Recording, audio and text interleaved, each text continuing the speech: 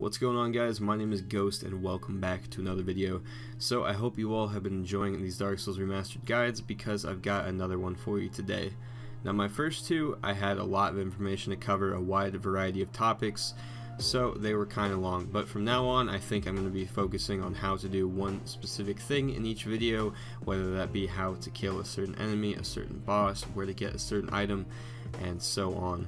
In today's video, we're going to be going over the easiest ways to kill Taurus Demon. Now, if you're watching this video, I doubt Taurus needs much introduction, he probably already got smashed by his hammer.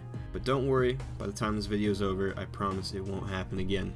Now, I'm not sure how many of these boss guides I'm going to do. I'll for sure be covering any bosses that have some unique strategies that you can use, rather than just hitting them with your sword a whole bunch of times. But if there are any bosses along the way that you're having trouble with, let me know in the comments what they are and I'll let you know if I have a guide planned or not. And if not, I could definitely make one for you. So with all of these, I'm going to be going over a few different things. One, obviously, how to kill the boss, the different strategies that you can use, but also if there's any prep work to do, any armor that you might want to pick up, any specific items, the best way to get there so you don't lose any health along the way and have full Estus for when you actually face them, and so on. So let's kick things off with Taurus Demon. So just in case you haven't actually faced Taurus Demon yet, I will start off with the basics. He's located in the Undead Burg, and he's fairly close to the bonfire, although there are quite a few enemies on the way. Now these enemies are entirely possible to run past, but most of them have pretty good tracking, some of them have these jumping attacks, that can hit you from like 20 feet away. Others will try to poke you and they will not give up until they do. So you might have to be a bit creative with the route that you run if you are trying to get past all of these enemies without taking any damage. Now this is likely the first bonfire you've lit aside from Firelink Shrine, so it might not be a bad idea to kindle it. If you're not familiar with what kindling does, it actually adds 5 Estus to your total every time you set that bonfire. You might have noticed that every time you rest at Firelink Shrine you get 10 Estus, whereas if you rest at this bonfire on the Undead Burg you only get 5.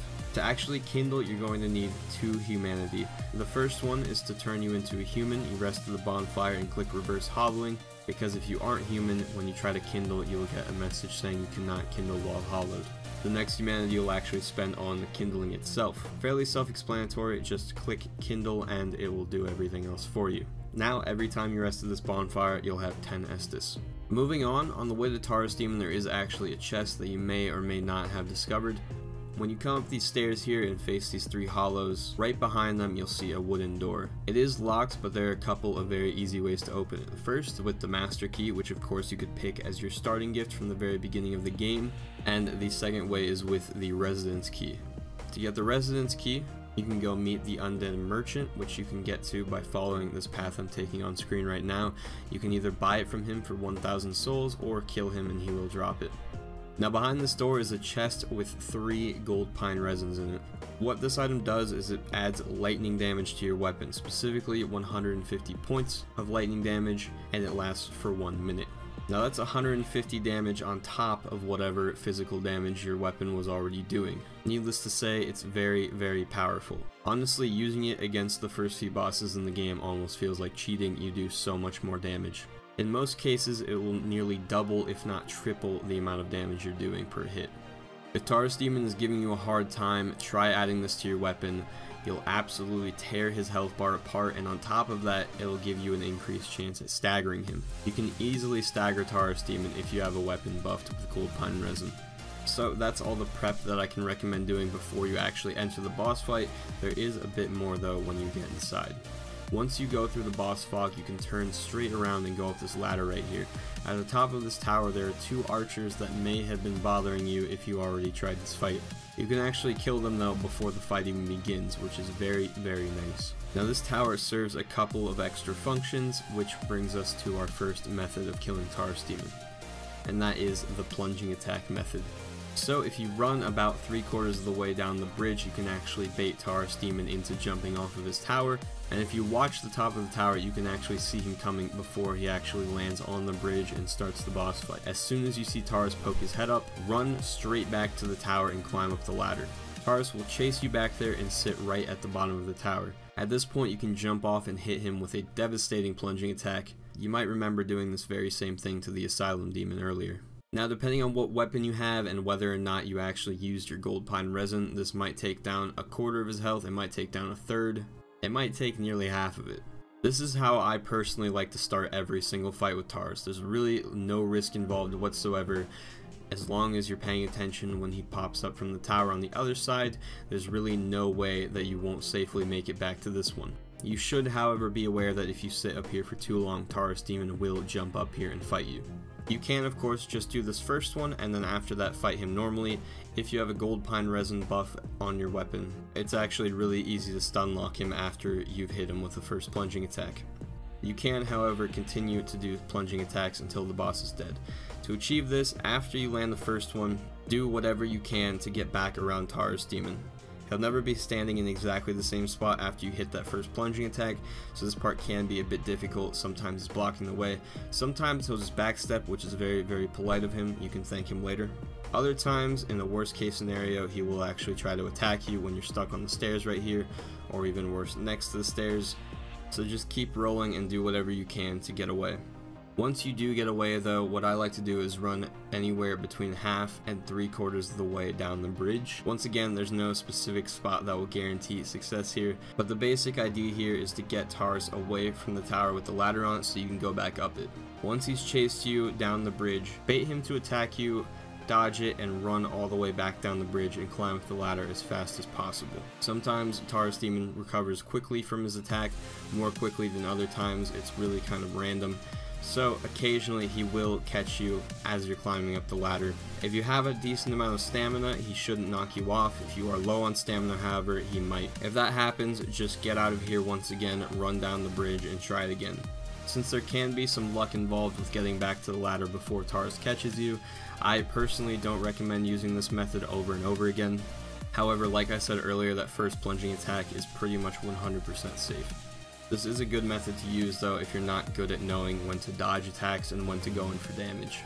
So the other method I have today is actually the Taurus suicide method. Now the upside to this method is that you don't actually have to hit Taurus once. All you have to do is focus on kiting him around and dodging his attacks. The downside is that sometimes this can take a little while to set up. As you might have guessed by the name, our goal here is to make Taurus jump off the bridge. Just in case you can't get this to work though, I do like to start every single fight off, no matter what strategy I'm using, with that first plunging attack just to get rid of some of his health. That way, if you give up on this, you'll only have about 3 quarters of Taurus left to deal with, which isn't so bad. So to set this up, what you want to do is guide the Taurus over to one of the edges of the bridge where the wall is broken. Be very careful though because it's really easy for Taurus to knock you off the bridge too. There are two animations that Taurus has that will make him fall off.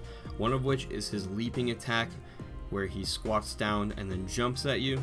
If you want him to do it this way, put your back to the edge of the bridge and have Taurus facing you and when he jumps, roll between his legs and he should jump straight off. The one that I prefer, that I find to be a little bit more reliable and more likely to happen, is for Taurus to backstep off the bridge. Now sometimes he'll backstep straight off, you'll see in this video though I actually get him to backstep, and then as he takes a slight step backwards with his next attack, that is when he actually falls off the bridge. So all you need to do here is keep dodging Taurus's attacks and try to get him as close as possible to the edge of that bridge. Now like I said before, I personally like to use the backstep method. To bait out the backstep, I like to get as close to Taurus as possible. This does make it a little bit harder to dodge some of his attacks, especially the one where he just slams his axe straight down, but I do feel like it makes him a bit more likely to try to backstep and get away from you. As you will see with this last clip though, Taurus actually takes a slight step backwards with some of his swings, so even if you can't get him to leap off or even backstep off, if you can get Taurus close enough to the edge, he might just fall off that way. Guys, that's all I have for this video as far as strategies. If you're really having trouble, try out one of these methods. Just analyze what is happening in your fight. Try to figure out why you're not beating him. If it's because you feel like you don't have room to dodge, try fighting him up top on the tower so that you have some more room side to side and don't get caught up on the walls. If you feel like you're not getting enough damage in, try out the plunging attacks. Again, you can mix those in. You can do the one at the beginning and you can try fighting him normally for a while. And then if you see an opening, you can try to get another plunging attack later on in the fight. And if you're really desperate, you really can't kill Taurus, just ask him to leave. As you saw in one of those clips, Taurus politely showed himself off the bridge. He's honestly not such a bad guy, just a bit misunderstood I feel like. Guys, thank you for watching. I hope you enjoyed the video. I hope it helped you out. Good luck with Taurus, and I'll see you in the next one.